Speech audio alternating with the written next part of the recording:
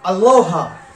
Oke, kita lanjut sekarang eh, membagikan ya beberapa hal yang ha- mesti ya yang lebih baik kita perhatikan ya di dalam berkomunikasi dengan orang lain ya terutama tentang diri kita sendiri ini adalah salah satu rubrik yang coba apa namanya mengelaborasi kunci-kunci tips-tips arah bagaimana kehidupan itu ya ini adalah hasil pemikiran kemudian hasil dari pencarian hasil dari pengalaman ya hidup ya.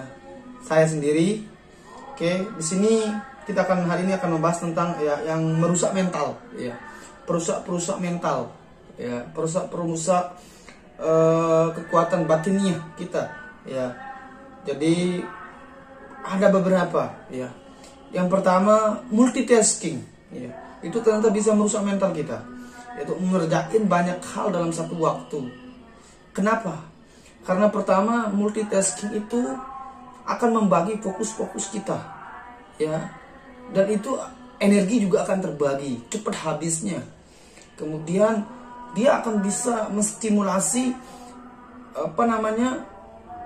emosi kita menjadi negatif. Ya, karena kalau lahan seperti itu akan naik tensi, ya. Kita marah-marah, kemudian kita takut, kemudian kita eh, apa namanya menjadi kurang kreatif less kreatif ya. Jadi itu salah satu penyebabnya ya. Jadi jangan terlalu multitasking ya. Kemudian yang nomor dua sering begadang kurang tidur ya, ya karena sering begadang kurang tidur itu terus apalagi dia harus bangun bangun bangun pagi. Waduh gimana nggak tersiksa itu sel-sel tubuh kita? Gimana nggak tersiksa otak-otak batin kita? Gimana nggak tersiksanya eh, apa namanya sel-sel di dalam tubuh kita?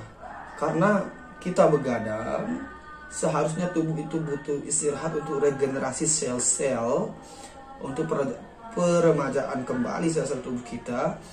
Tetapi dipaksa oke okay, untuk tetap bekerja ya. Karena kan ketika kita terjaga kan sistem metabolisme tubuh kan mereka kan selalu ber, bekerja seperti itu ya untuk menunjang kehidupan kita. Dan mereka memakai energi di sana. Jadi apa namanya uh, begadang dan dan kadang kurang tidur ini bahaya sekali. Nah setelah setelah setelah tidurnya telat bangunnya cepat kan ngeluh mereka seakan ngeluh di dalam ini.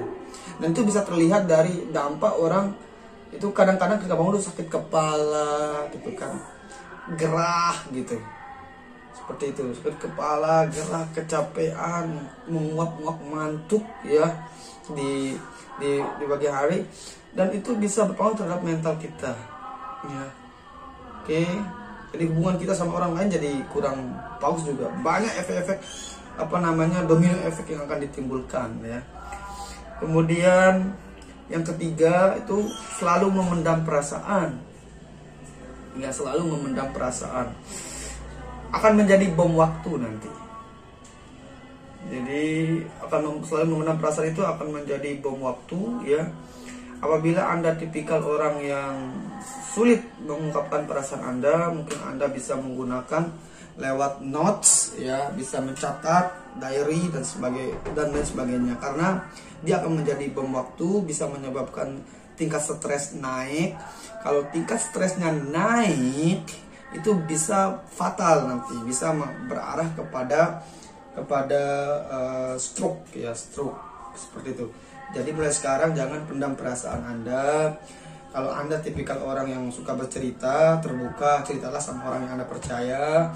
Kalau anda bu bukan orang tipikal yang yang yang suka bercerita maybe dengan menggunakan sosial media uh, tapi hati-hati juga dalam menggunakan sosial media karena bisa menyebabkan orang salah paham juga.